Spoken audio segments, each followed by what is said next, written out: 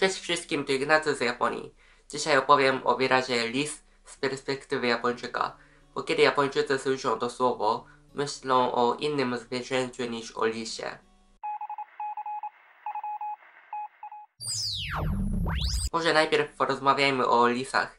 Moim zdaniem one są bardzo urocze. Są różne odmiany, ale najbardziej mi się podoba lis rudy, Ulpes vulpes śręcki, który mieszka na Hokkaido. Kiedy jeżdżę z tatą na wycieczki, często spotykam te lisy na drodze. Jeszcze w mieście też czasem można je spotkać i ostatnio widziałem jednego w moim ogródku. Jednak nie wolno ich dotykać, bo przenoszą pasożyty. Ja jestem tak nauczony od małego, ale w Japonii te lisy nie mieszkają poza Hokkaido i często turyści z innych części Japonii nie wiedzą o tym i dotykają lisów. Co roku około 20 osób choruje i kilka umiera, więc to jest naprawdę niebezpieczne. A ogólnie w japońskiej kulturze lisy są bardzo ważne.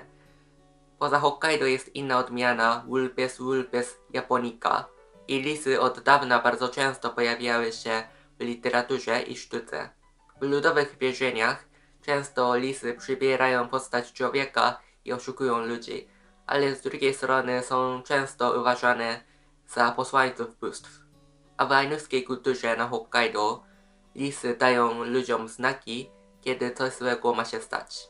To tyle o lisach, teraz będzie o języku japońskim. O czym Japończycy myślą, kiedy słyszą wyraz lis? Japończycy, kiedy słyszą wyraz lis, kojarzą go z japońskim lisy, czyli wiewiórka, pręgowiec. To wynika z tego, że w języku japońskim nie ma l i Japończycy słyszą te spółgłoskie jako japońskie. Japońskie r nie jest takie samo jak polskie r, ale zapisujemy przez y, r. I jeszcze na końcu jest samogłoska y, której nie ma w wyrazie lis, ale w języku japońskim y często zanika w wymowie. Na przykład wiewiórka i kwiat to będzie lis to hana, lis to hana. Słyszycie, że y nie jest wymawiane. Dlatego lis to dla nas prawie całkiem lisy, czyli wiewiórka. Ja jestem tak przyzwyczajony, że kiedy słyszę polskie słowa podobne do japońskich, nie myślę o tych japońskich, ale na pewno każdy Japończyk, który uczy się polskiego, chociaż raz pomyślał o tym, że to brzmi jak wiewiórka. Sam kiedyś, kiedy jeszcze nie znałem polskiego i po prostu zaglądałem do słownika, śmiałem się, że kitsune to lis, a lisy to wiewiórka. To znaczy, że lis po polsku to jest kitsune po japońsku. Kitsune. A wiewiórka po polsku to jest lisy po japońsku. Kiedy wyraz lis jest odmieniony, już nie brzmi jak wiewiórka, lisy.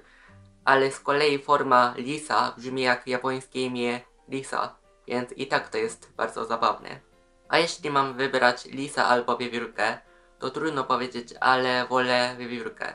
To jest moje ulubione zwierzę i od 2011 do 2017 roku miałem w domu wiewiórkę, a właściwie pręgowca. Ale lubię i wiewiórki i pręgowce. Inaczej wyglądają, ale dla nas to jest i tak lisy. W Japonii są trzy rodzime i trzy obce gatunki wiewiórek albo pręgowców. Na Hokkaido mieszkają dwie rodzime i jedna obca. Jedna z rodzimych to szara odmiana wiewiórki pospolitej, a druga to odmiana burunduka syberyjskiego, która zamieszkuje Hokkaido i to jest rodzaj pręgowców. A ta obca to jeszcze inna odmiana burunduka syberyjskiego, która zamieszkuje półwysep koreański. W Polsce wiewiórki są duże i rude, ale takie też lubię. Często we Wrocławiu albo w Warszawie chodzę po parkach szukając wiewiórek. I to jest moje ulubione zajęcie na wolne dni. Często moja dziewczyna mówi, że jestem stuknięty na punkcie wiewiórek, bo nawet w Japonii z tatą odwiedzamy miejsca, w których często pojawiają się wiewiórki. Mój tata też kocha wiewiórki i czasem sam wychodzi z inicjatywą, że jedziemy poszukać wiewiórek. Jeśli przyjedziecie na Hokkaido, to mogę podpowiedzieć, gdzie można spotkać wiewiórki. Cześć!